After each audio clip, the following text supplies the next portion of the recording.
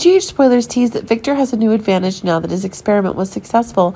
It does indicate that Lucy will be returning to Port Charles soon, but it seems that what she can do is one of the more crazy ideas when it can be recognized that one of the big ideas to cancel extermination was scheduled by Victor himself.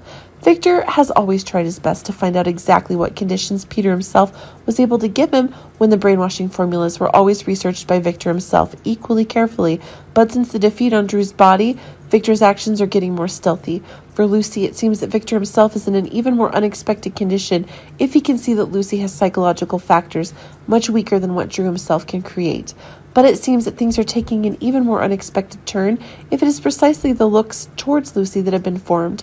Although Anna and Valentine are trying everything they can to find Lucy, it seems that things are taking on one of the more explosive things when it can be seen that under all conditions Victor himself is holding Lucy in such a way, extremely careful. But over a period of time, we are seeing that a win condition for Victor has been established, as Victor's own staff announced that Lucy's brainwashing has been successful, and now only Victor can guarantee that Lucy will have an absolute trust in Victor, and of course that Victor is the only one who can control Lucy's will.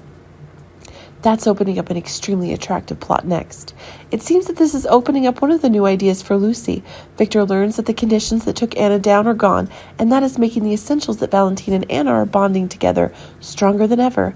That is one of the things that is truly unacceptable. But just as Victor himself was having the idea that he needed to change tactics, it was Lucy who would be sent back to Port Charles.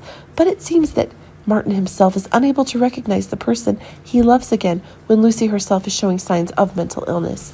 Martin himself will do everything he can to protect the person he loves the most, and treatment is being offered, but it seems that these things are not able to have the necessary effect. But when Victor himself is activating Lucy again, it seems that things are making more and more crazy conditions, as Lucy herself is creating a certain chaos. It should be remembered that the things that Drew did in the past several months were of the conditions of real surprise, but it seems that Lucy herself is capable of making the chaos more heightened than ever. But it seems that Lucy and Victor are turning Victor's advantages above all else.